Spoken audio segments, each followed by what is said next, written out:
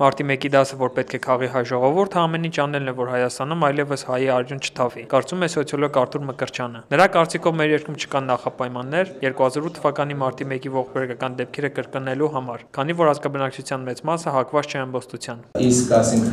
թե տարիներ անց ինչ կլինի, ինչպես կփոխվի իրավիճակը, դա պետք է անընդհատ հետևել եւ կարողանալ տեղում ճիշտ կանխորոշումներ անել։